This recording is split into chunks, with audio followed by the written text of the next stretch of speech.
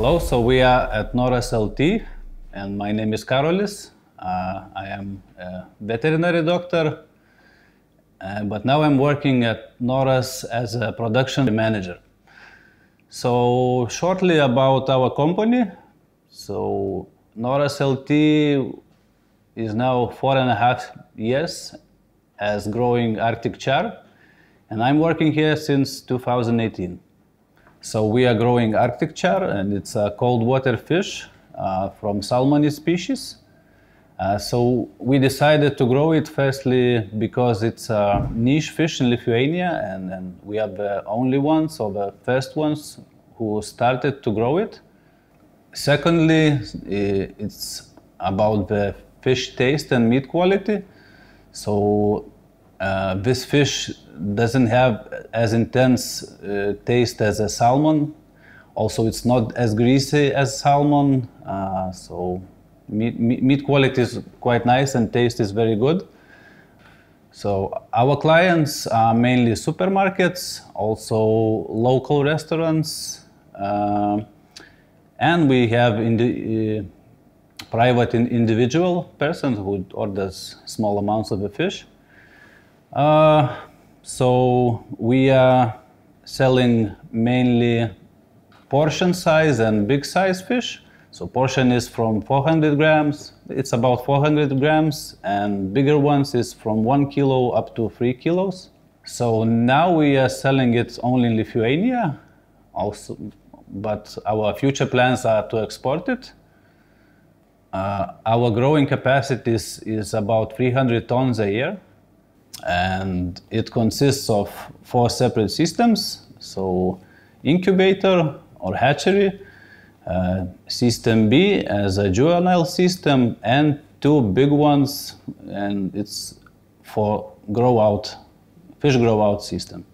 We are growing Arctic char from egg to commercial size. Uh, we, we decided to, to buy eggs, but not to grow our own brood stock just because uh, cost efficiency. So it's not cost effective to, to grow it by our, ourselves. We are importing importing um, eggs uh, from Canada now, but before that we were uh, testing eggs from Norway, Poland, uh, and, and other suppliers.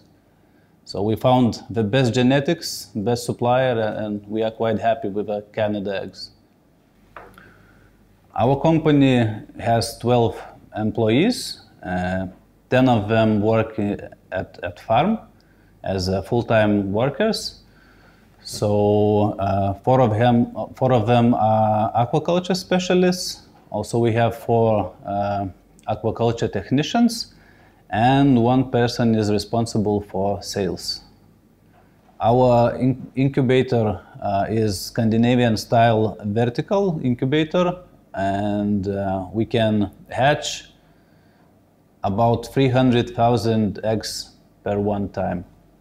So eggs come to our hatchery eyed stage uh, and uh, they are hatching for about one, one month up to hatching and from 250 and 300 degree days up to moving to the uh, fast feeding system. Uh, also, you can uh, control the hatching time by controlling the temperature, but generally, it's the best practice to hold temperature from 2 to 8 degrees. So this is how looks our incubator. So this is a simple RAS system. So main thing is the good water quality, uh, also oxygen. So oxygen levels in the outlet shouldn't be less than 95%.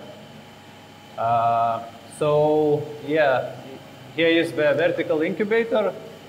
We are trying to use only one layer of eggs here because of uh, uh, preventing the infections and also for the staff easier to pick up the dead eggs.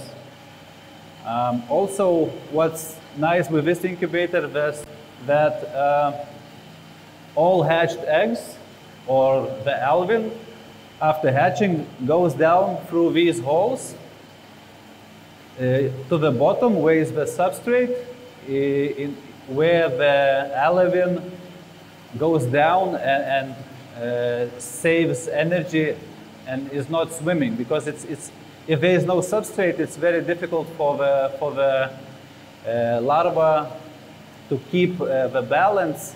So he is constantly moving and, and, and using his yolk sac for, for not only developing but, but, but moving. The dead eggs should be removed as fast as possible uh, to, to prevent the infections. Uh, so we are using uh, small pliers to take it out, or you can use a siphon if there is uh, too much or a lot of dead eggs. You just siphon it out, and it's way easier work for the guys. Also, one more thing to mention is the lighting. So you, you shouldn't use intense light for the eggs. It's a bit harmful. So now it's not the best conditions for the eggs. Um, especially is bad and harmful for eggs is UV lighting from, from the sun. So we keep incubator as dark as possible. And when guys are picking eggs out, we are using a small LED lights with a red with a red color to not harm the, the eggs. So after uh, hatching, uh, larva is consuming uh, its uh, yolk sac. And when it consumes from 70 to 80% of a yolk sac, it swims up and uh, it's ready for the first feeding. So we move that fish to the next system, system B. So system B is a juvenile growing system and uh, its volume is about 65 cubic meters. Uh, system consists of 10 tanks uh, six of them are smaller ones and consist of uh, 1.9 cubic meters, and four are the bigger ones, and they are about four and, five and a half cubic meters each. The most difficult uh, procedure or cycle of, of this system is first feeding. So you can you, you, you need to feed fish every 30 minutes and 24 hours a day and constantly you can increase it but this period uh, takes up to two weeks so guys have to work all, night shifts and all, all, day all night let's say uh, after that we turn on the uh, automatic feeders and then the work is much easier after that, when, when the fish reach five grams, then it comes the first grading time. So we are grading the fish at first time at, at five grams. So this is system B, the juvenile system. Uh, it's a typical RAS system. So water from the tanks goes into the drum filter, where it's stripped out of uh, uh, particles, let's say, feed and feces. Then the water, clean water goes to the biofilter, where it's cleaned for all the toxic material, ammonia and nitrates. And water goes back to the main pump sump, where it's oxygenated and goes back to the tank as a new water supply. And also another pump takes water to the trickling filter where all the gases like CO2 is stripped out from the water and back to the main pump sump, back to the tanks. Uh, so here we can see already grown fish. So they are about three months old uh, and they are ready for the grading actually. so in a few days, we will be grading that fish to those empty tanks. You can see there. And you can see here, these are a bit younger fish. They are about one month old. And they're looking quite good and happy, waiting for some feed.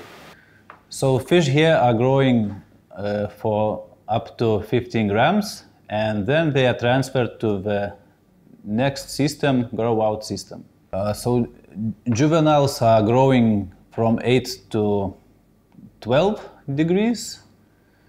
Uh, we've also we're adding salt, so we've uh, about 2 ppt of, of, of, salt. And the bigger fish, uh, usually we are growing it from 10 to 12 degrees Celsius. So this is uh, one of our grow out systems. It's actually pretty same as a system before, but only the bigger scale. So you see the drum filter is four times bigger, maybe five.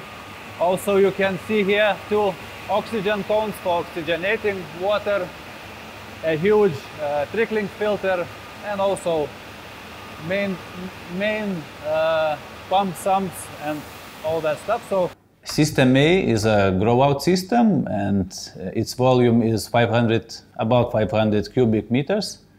Uh, it consists of 22 uh, separate tanks, which are about 13 cubic each. Um, and we can grow there about 42 tons of, of, of, fish. So system A is way bigger than uh, system B and we cannot operate it by hand, so we have equipment uh, such as fish pump, uh, bigger graders, and uh, also you, you, you must have counters to, to track the number of, of fish you are grading and uh, also the average weight of the fish. That helps a lot. Uh, also in System A we have a separate uh, purging tank. so fish stays there for one week uh, to, to lose all the off flavor and uh, we are cleaning the fish before selling. Uh, also, it's important to mention that you have to track all your data in a farm. Uh, it's uh, average weights, uh, water quality parameters, grading, all, all, that stuff. So we are using Aquamanager program and we are cooperating with the team. So it, it, helps us a lot to, to track information, let's say some kind of, uh, you have some kind of incidents of, of fish dying or, or, something, you can go back and, and just check what was wrong. So I recommend everyone to, to have some kind of a software for, for tracking the data. So as I mentioned, this is System A with 22 tanks and this is our purging tank. Uh, so nowadays, uh, fish ready for the supermarket. After one week, uh, one week, they are going to the sales and to the person's tables. Um, so this system has, as you see, automatic feeders and then no need to, to stay here for the personnel. Um, as I mentioned before, we use fish pump and graders for the transferring fish. So now there are two empty tanks ready for the grading. Um, so here we have, in this system, we have various size of fish from 300 gram up to market size fish of 1.5 to 3 kilos. Um, so yeah, here you can see almost portion size Arctic char enjoying the water. So maybe you, you can wonder why you see those foams on the top of the tank. So this is because we are adding salt. It helps to, to fish clean better and in general to feel better. So that's why this foam is gathering on the top. So it's normal and okay. So here we can see a market size fish. It's about one and a half kilo. There are also bigger ones, but, but yeah, so quite good, beautiful fish.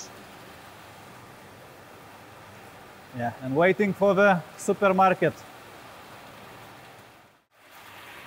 Yeah, and, and here we have a market size Arctic char for the uh, supermarkets.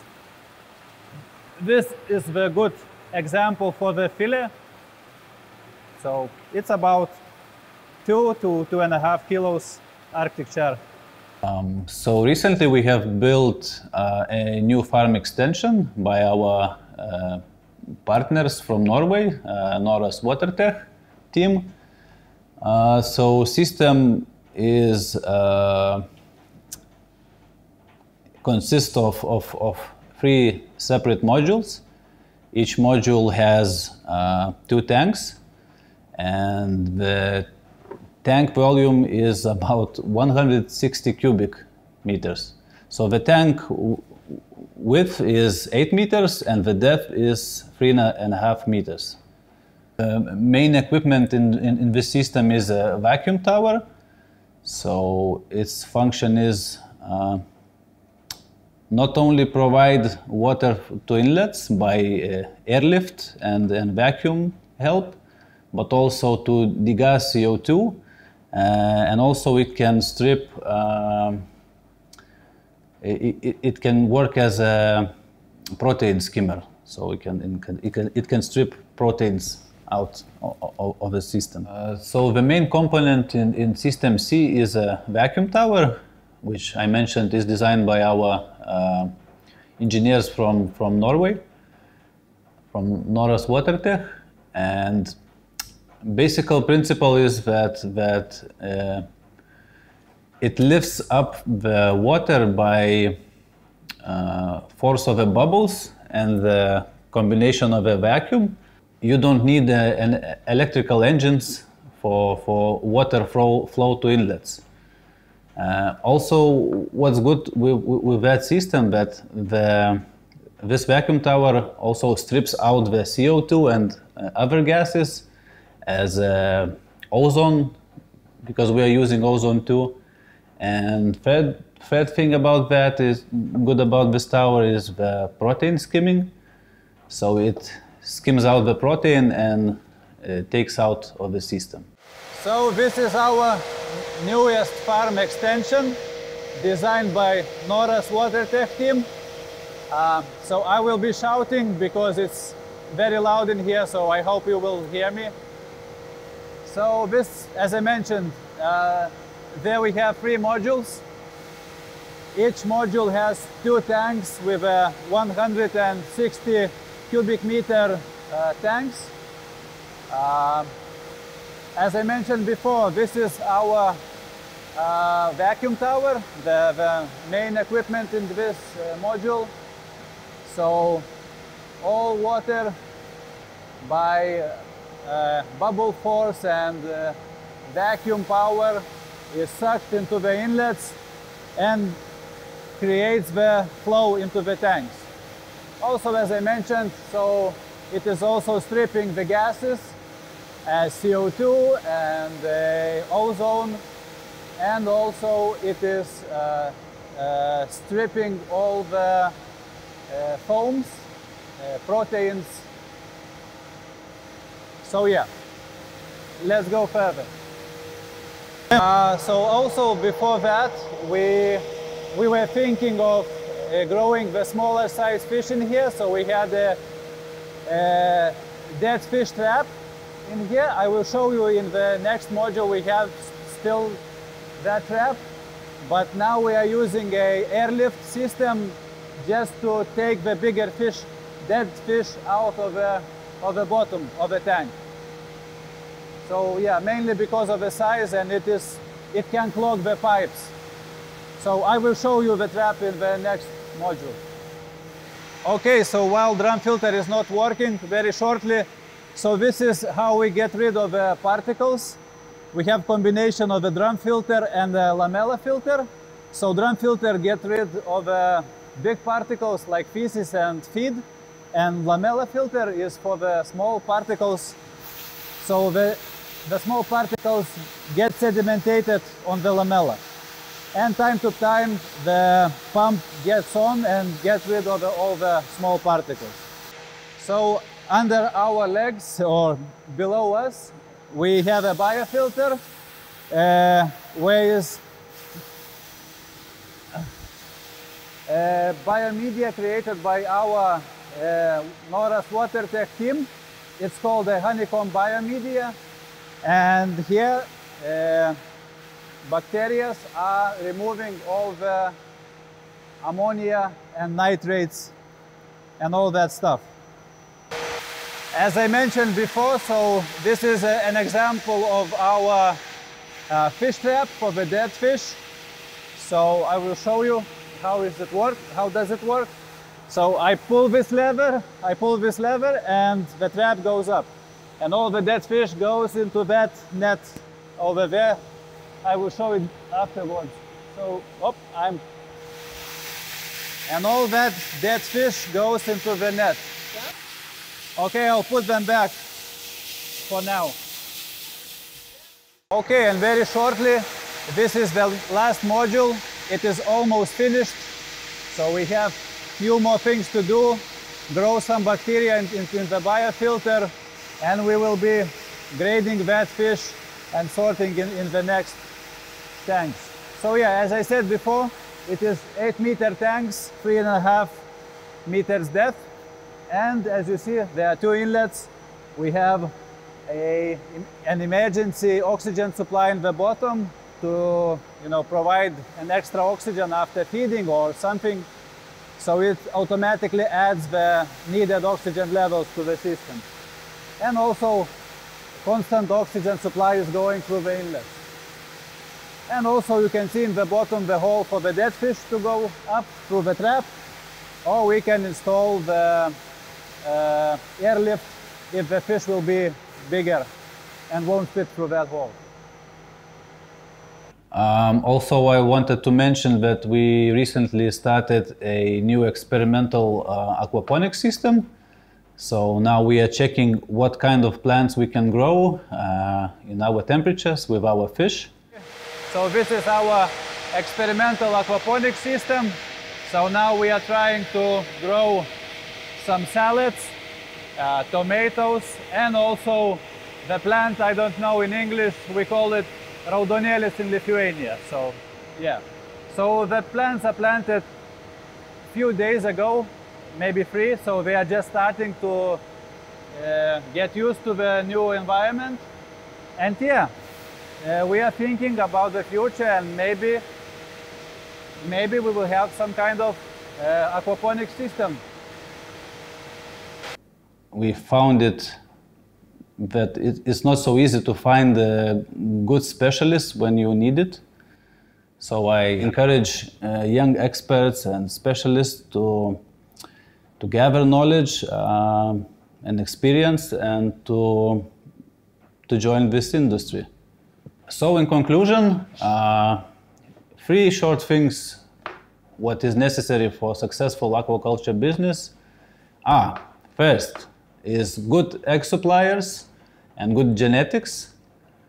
Second, uh, good water quality and also feed quality. And the third one is specialists and skills. So thank you for your attention and hope you enjoyed it.